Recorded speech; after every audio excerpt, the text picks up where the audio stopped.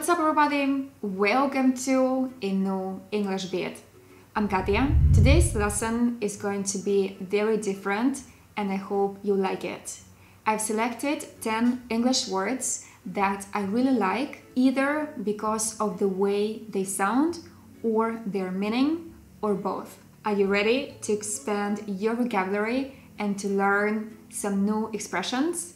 If so, grab your vocabulary notebook and a pen and let's kick off.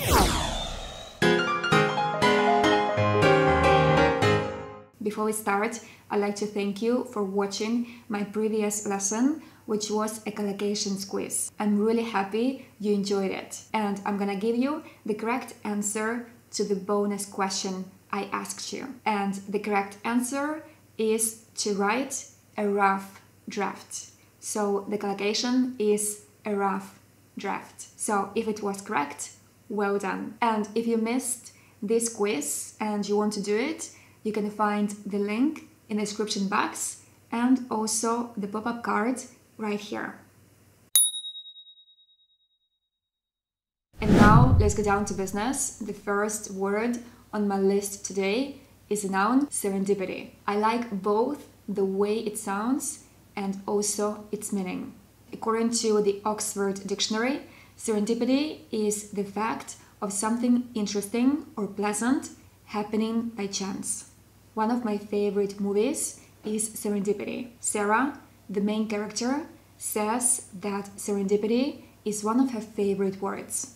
And Jonathan answers, it's such a nice sound for what it means a fortunate accident. Also, in the movie, Sarah says to Jonathan, if we are meant to meet again, then we'll meet again. I really like the idea of what it's meant to be will always find its way. And we also have an adjective, serendipitous, which means happening or found by chance. One simple sentence, it was a serendipitous first date. And now let's move on to the second word, epiphany. I also like the way it sounds and also its meaning. Epiphany means a moment when you suddenly understand something. Let's put it into a simple sentence. I had an epiphany and was able to read between the lines. And in this example, we've got a C2 idiom to read between the lines. It means to understand someone's real feelings or intentions from what they say or write. By the way, Taylor Swift has a song called Epiphany, and in the chorus, she sings, Only 20 minutes to sleep, but you dream of some epiphany. Just one single glimpse of relief to make some sense of what you've seen. You can check it out. And now let's move on to the third word, which is a go getter. I like its meaning because it's encouraging and motivating.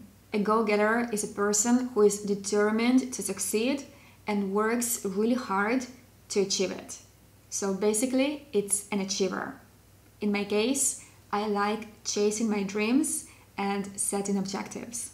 One simple sentence I'm not surprised Mia's founded a successful company.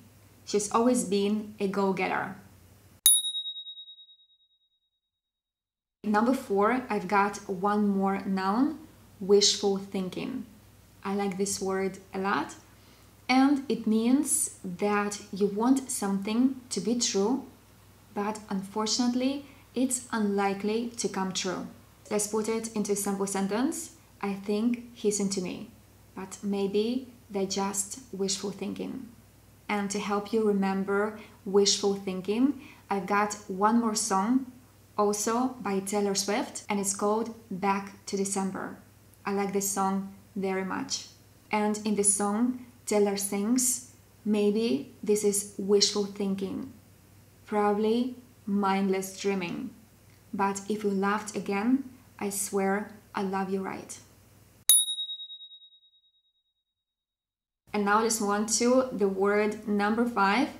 It's an adjective, low key. I like this word because I think it's funny. This adjective can be used in two different situations. The first one, we can use it to describe people who are relaxed, laid back, and not intense. For example, he is a laid back, low key guy. And we can also use this adjective to describe something quiet, not noticeable, and nothing fancy. For example, please don't throw a huge party. I want to keep it low key. And guys, before we continue and look at five more words that I really like, just a super quick reminder please make sure you subscribe to English Bits if you like my channel. And also, if you like this lesson, please don't forget to give it a huge thumbs up. Thank you. And now let's continue with our lesson. Number six, I've got a saying that I really like out of sight, out of mind. And we can use it in two different situations. The first one, if you don't see a problem, it doesn't worry you. You don't have to think about it. And it doesn't make you sad. For example, when we watch the news, we can see all the bad things happening around the world. And if you decide not to watch the news, you don't suffer. Out of sight, out of mind. And the second situation in which you can use this saying is when you don't see someone, it's easy to forget him or her. It works wonders for me. One simple sentence I stopped following him on Instagram. Out of sight, out of mind. Number seven, I've got an idiom blessing in disguise. I like it so much because of its powerful meaning. This idiom means that something seems bad or unlucky at first, but results in something good happening later.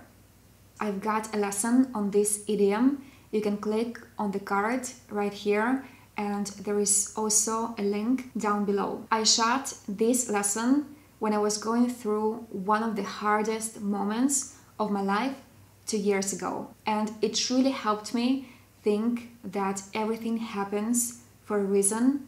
And although nothing makes sense right now, it will in the end. One more song by James Arthur, Take It or Leave It. And in this song, he sings, and I hope it will all make sense in the end. So basically, I always try to find something positive in each situation, no matter how hard it is. And if you're going through a rough patch now, I really hope this idiom will give you some hope. Number eight, I've got one more idiom in line with the previous one.